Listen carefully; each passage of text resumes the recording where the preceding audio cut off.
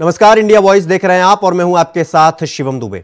India voice का बेहद पसंदीदा कार्यक्रम छत्तीसगढ़ कौशल्य भूमि में आप सबका स्वागत है। रुक करेंगे अगली खबर की ओर, आपको बता दें कि खबर रायपुर से है।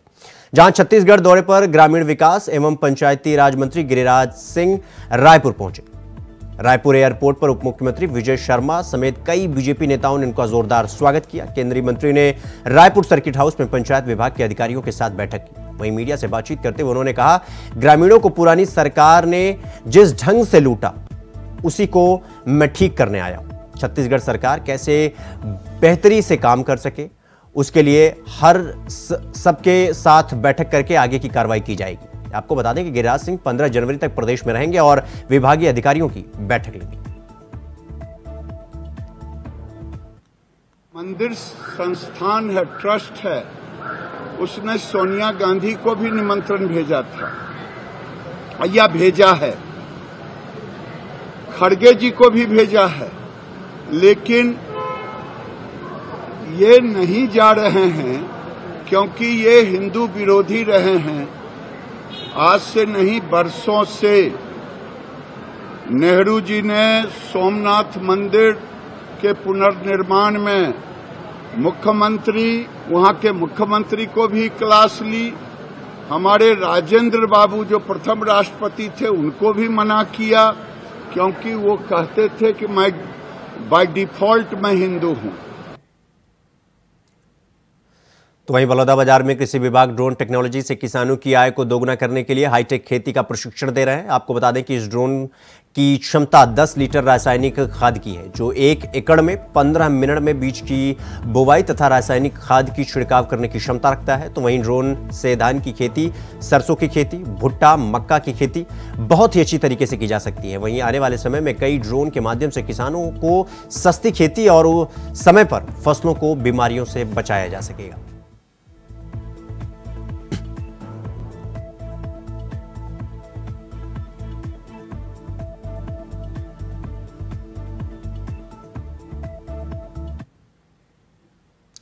धमतरी ज़िले के दुर्गा ज्वेलर्स से पिस्तौल की नोक पर डरा धमका कर लूटपाट करने वाले आरोपियों को पुलिस टीम ने गिरफ़्तार कर लिया है। आपको बता दें कि आरोपी अर्पित लाल अपनी मुँह बोली बहन प्रियंका इसरानी के साथ मिलकर ज्वेलरी शॉप पहुँचे थे, जहाँ उन्होंने कट्टे की नोक पर डरा धमका कर लूटपाट करके फरार हो गए थे। लेकिन अब पुलिस ने आरोपियों को गिरफ़्तार कर लिया है तो वहीं आरोपियों के कब्जे से एक देशी पिस्टल और मोटरसाइकिल जब्त की है।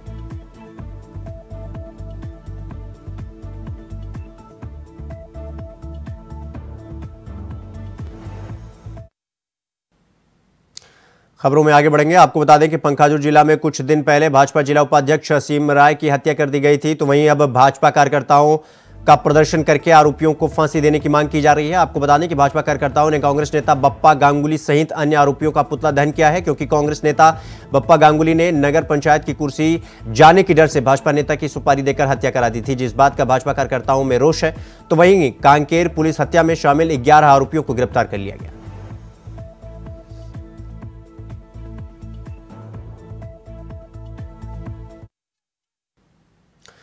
पूरे छत्तीसगढ़ में एक नवंबर से धान खरीदी की शुरुआत हो चुकी है। आपको बता दें कि प्रदेश सरकार ने धान का मूल्य इकतीस सौ रुपए निर्धारित किया था, लेकिन धान खरीद की शुरुआत होने के साथ ही बिचौलिए भी सूरजपुर ज़िले में सक्रिय हो गए हैं, जिन पर जिला प्रशासन लगातार कार्रवाई करती हुई नज़र आ रही है। आपको बता दें कि खाद्य विभाग की टीम लगातार छापे मारने छापे मारने की कार्रवाई कर रही है।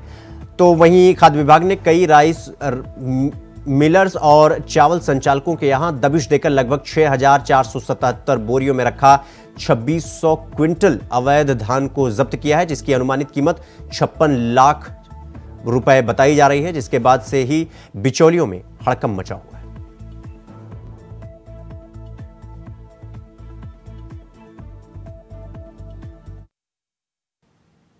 महासमुंद ज़िले के सिंगौड़ा थाना क्षेत्र के रेहटी खोल जाँच चौकी के पास पुलिस ने पाँच व्यक्तियों को सात किलो सोने के साथ गिरफ़्तार किया है। तो वहीं पुलिस अधीक्षक राजेश कुकरेजा ने बताया कि कुछ लोग दो अलग अलग कार में कोलकाता महाराष्ट्र के लिए निकले थे, लेकिन जिन्हें चेकिंग के दौरान जब उनकी कार की तलाशी ली गई तो वाहन की सीट पर बने गुप्त चेंबर में सात किलो छियासी ग्राम सोना पाया गया। तो वहीं पुलिस ने पाँच व्यक्तियों से पूछताछ करके डीआईआर को सौंप दी।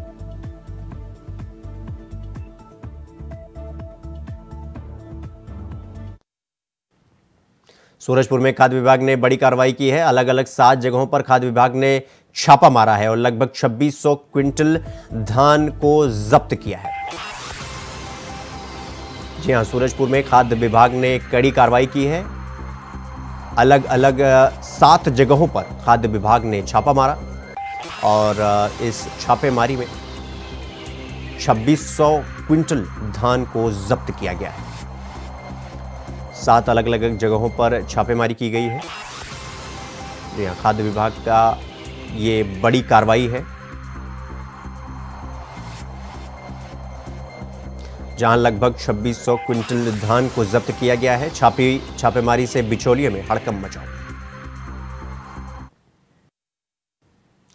अगली खबर पंखाजुर से है, जहाँ भाजपा के जिला उपाध्यक्ष और पंखाजुर के पूर्व नगर पंचायत अध्यक्ष असीम राय हत्याकांड मामले में एसआईटी को बड़ी सफलता मिली है। आपको बता दें कि इस हत्याकांड की जाँच के लिए गठित 18 सदस्यीय एसआईटी दल ने आरोपियों को पकड़ा है। हालाँकि इस हत्याकांड का मुख्य शूटर विकास तालुकदार अभी भी एसआईटी की पकड़ से बाहर है। हत्या की पूरी डील सात लाख रुपए में फिक्स हुई थी और एक लाख रुपए में कट्टा खरीदा गया था। आरोपियों के पास से एक पल्सर बाइक और साढ़े लाख रुपए बरामद हुए हैं और अब यह साफ़ हो गया है कि राजनीतिक षड्यंत्र के चलते चलते भाजपा नेता असीम राय की हत्या हुई है और पंखाजुन नगर पंचायत अध्यक्ष के और कांग्रेस नेता बप्पा गांगुली और कांग्रेस पार्षद विकास पाल ने असीम राय की हत्या की सुपारी ली थी।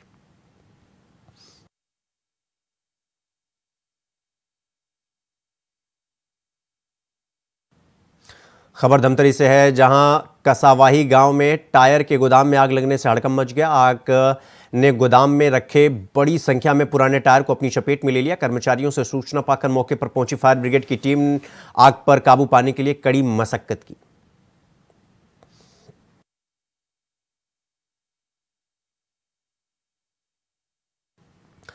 रुक करेंगे अगली खबर की ओर। अगली खबर सूरजपुर से है, जहाँ करंजी में शराब बनाने वालों से परेशान होकर महिलाओं ने करंजी पुलिस चौकी का घेराव किया। दरअसल, महिलाओं का आरोप है कि उनके द्वारा कई बार महुआ शराब कारोबारियों को लेकर शिकायत की जा चुकी है, लेकिन कार्रवाई के बाद भी क्षेत्र में शराब अवैध कारोबार धड़ल्ले से चल रहा है, जिसके कारण गाँव में के बड़े बुज़ुर्गों के साथ अब छोटे बच्चे भी आदतन शराबी बनते जा रहे हैं। वहीं इसी अवैध कारोबार के संचालित होने से आए दिन घर के शराब के नशे में हिंसक घटनाएँ होती हैं जिससे महिलाओं को कई परेशानियों का सामना करना पड़ रहा है। महिलाएँ ने महिलाओं ने सात दिनों के अंदर कार्रवाई न होने पर संयुक्त कार्यालय का घेराव करने की बात भी कही। कई बार हो गया तीन चार साल से यहाँ विरोध हो रहा है। चौकी करंजी में आज कुछ महिलाएँ गाँव की आई हुई थी और उनका कहना था कि जो गाँव में कुछ लोगों के द्वारा शराब बिक्री किया जा रहा है उनको कार्यवाही करने के लिए जिसमें हिसाब प्रभारी के द्वारा बताया गया कि शराब अवैध शराब की सूचना मिलने में तत्काल कार्रवाई की जाती है और विगत दिनों में अभी लगातार कार्रवाई जारी भी है और उनके शिकायत जो कुछ नाम उन्होंने बताए हैं उनके ऊपर कड़ी से कड़ी कार्रवाई की जाएगी ताकि आने वाले समय में इस तरह की परिस्थिति उत्पन्न न हो। क्या समझाइश दिया गया महिलाओं को? महिलाओं को बताया गया है कि पुलिस के द्वारा लगातार अवैध कारोबार पर रोकथाम लगाने हेतु समय समय पर कार्रवाई की जाती है। यदि उनको कोई शिकायत है तो उनको बताए अनुसार भी कार्रवाई की जाएगी और जल्द ही जिनका नाम उनके द्वारा बताया गया, उनके ऊपर भी कार्रवाई कर जाएगी। खबरों में आगे बढ़ेंगे। खबर जगदलपुर से है, जहाँ अधेड़ ने एक युवक की हत्या कर दी। बस्तर पुलिस की कार्रवाई पर आरोपी ने जुल्म कबूल किया। आपको बता दें कि आरोपी की भतीजी और मृतक में प्रेम संबंध था, जिसकी जानकारी मिलने के बाद आरोपी ने युवक के सिर पर हमला कर उसे छत से धक्का दे दिया। जिससे उसकी मौत हो गई। पुलिस ने मामले में कार्रवाई करते हुए आरोपी को गिरफ़्तार कर लिया है। आरोपी को न्यायिक रिमांड पर, न्यायालय रवाना किया।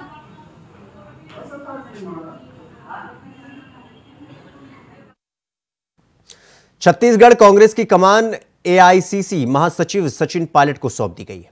बतौर प्रभारी सचिन पायलट पहली बार प्रदेश के दौरे पर पहुँचे तो उनका भव्य स्वागत किया गया। प्रदेश के नेताओं का कहना है कि सचिन युवा हैं, अनुभवी हैं इसका लाभ छत्तीसगढ़ में कांग्रेस पार्टी को मिलेगा। वहीं भाजपा का कहना है कि अब छत्तीसगढ़ में बागियों को संभालने के लिए कांग्रेस यहाँ सचिन पायलट को बुलाई, लेकिन कांग्रेस का भला होने वाला नहीं।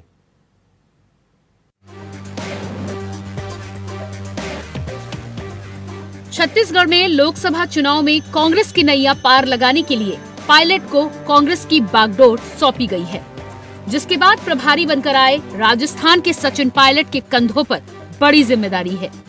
प्रदेश में चुनाव हारने के बाद बिखर रही कांग्रेस को एकजुट करना, नाराज़ नेताओं को मनाना और सभी को एक साथ लेकर लोकसभा चुनाव की जीत तक चलना बेहद कठिन होगा। हालाँकि प्रभारी बनने के बाद पहली बार छत्तीसगढ़ दौरे पर पहुँचे सचिन पायलट का भव्य स्वागत किया गया। रायपुर एयरपोर्ट से लेकर कांग्रेस मुख्यालय, राजीव भवन तक जगह जगह कांग्रेस के नेताओं और कार्यकर्ताओं ने सचिन का जोरदार स्वागत किया। जगह जगह बैनर पोस्टर लगाए। पायलट ने भी राजीव भवन पहुंचकर प्रदेश कार्यकारिणी की बैठक ली। बैठक में भारत जोड़ो न्याय यात्रा की तैयारी और मिशन 2024 लोकसभा चुनाव को लेकर चर्चा की गई, जिसमें कांग्रेस के सभी बड़े नेता दीपक बैज नेता प्रतिपक्ष डॉक्टर चरणदास महंत ताम्रध्वज साहू समेत मौजूद रहे। इस राज्य की ज़िम्मेदारी अखिल भारतीय कांग्रेस कमेटी ने हम सबको दी है। मुझे पूरा विश्वास है कि आने वाले लोकसभा चुनाव में हम दुगनी ताकत से वापसी करेंगे और भाजपा ने जो बातें बोलकर ये चुनाव जीता है, उनकी जवाबदेही हम तय करेंगे, उनकी अकाउंटेबिलिटी फिक्स करेंगे और एक मज़बूत विपक्ष जो हम लोग हैं, उसका एहसास जनता को ज़रूर होगा। नौजवानों को, किसानों को, अगड़े, पिछड़े, दलित, अल्पसंख्यक सब लोगों को साथ लेकर हम लोग आगे चलेंगे। मुझे पूरा विश्वास है कि आने वाले लोकसभा चुनाव के अंदर अभूतपूर्व परिणाम हम लोग लेकर आएँगे। एकजुटता से पूरे प्रदेश के अंदर कांग्रेस पार्टी काम करेगी। इस संकल्प के साथ हम लोग यहाँ पर आए हैं। देखिए देखिए क्या राजनीतिक में हार अर्जित होते रहता है, लेकिन किसी काबिलियत पे शक नहीं करना चाहिए। सचिन पायलट जी मध्य राजस्थान के प्रदेश कांग्रेस के अध्यक्ष भी रहे और सेंट्रल में मिनिस्टर भी रहे और आज जनरल सेक्रेटरी भी हैं। और छत्तीसगढ़ का प्रभार भी मिला। युवा हैं, अनुभवी हैं। तो इसका लाभ छत्तीसगढ़ में कांग्रेस पार्टी को मिलेगा। मगर बीजेपी पायलट की उड़ान पर सवाल उठा रही है और तंज कसते हुए कह रही है कि छत्तीसगढ़ कांग्रेस ने अपनी टूटी नाव चलाने के लिए राजस्थान से पायलट बुलाया है। ये वो पायलट है जो अपने राज्य में कई बार उड़ते हुए जहाज़ को पटखनी दे चुका है, जिसके बाद उनकी उड़ान पर सवाल लाजमी है। इससे पहले भी कुमारी शैलजा को यहाँ का प्रभारी बनाया गया था, जिन्होंने हरियाणा में कांग्रेस को डुबोया। अब पायलट आ रहे हैं। बगावत करने वाले लोग ही आज कांग्रेस का सहारा बन गए। ऐसे में छत्तीसगढ़ की बागियों को संभालने के लिए कांग्रेस यहाँ बुला रही है, लेकिन इससे कांग्रेस का भला होने वाला नहीं। कांग्रेस ने अपनी टूटी नाव चलाने के लिए राजस्थान से पायलट बुलाई है। ये वो पायलट हैं जो अपने राज्य में कई बार उड़ते हुए जहाज़ को ज़मीन पर ला करके पटक दिए हैं। आपको ध्यान होगा कि कुछ समय पहले शैलजा जी के यहाँ पर प्रभारी बनाए थे और ये वही शैलजा जी हैं जिन्होंने हरियाणा में कांग्रेस को डुबाई थी। और अब पायलट जी आ रहे हैं यहाँ जो राजस्थान में कांग्रेस को डुबाने का काम किए हैं। अपने अपने राज्य में जिन्होंने बगावत किया ऐसे बगावत करने वाले लोग ही आज कांग्रेस पार्टी के सहारा बने हुए हैं। और छत्तीसगढ़ के जो बागी हैं, उन सारे बागियों को संभालने के लिए अब इस तरह के लोगों को कांग्रेस पार्टी अपने राज्य में बुला रही है। इससे कांग्रेस का कोई भला होने वाला नहीं है। मगर सचिन पायलट का कहना है कि आने वाले लोकसभा चुनाव के लिए सभी तैयार हैं। संगठन को दुरुस्त कर कार्यकर्ताओं को चुनावी मैदान में उतारेंगे। और आने वाले चुनाव में दुगनी ताकत से वापसी करेंगे। अब देखना ये है कि विधानसभा चुनाव में हार कर रास्ता खो चुकी कांग्रेस को रोशनी दिखाने में पायलट कितना सफल हो पाते हैं, ये तो आने वाला भविष्य ही बताएगा। इंडिया वॉइस के लिए रायपुर से विकास यादव की रिपोर्ट।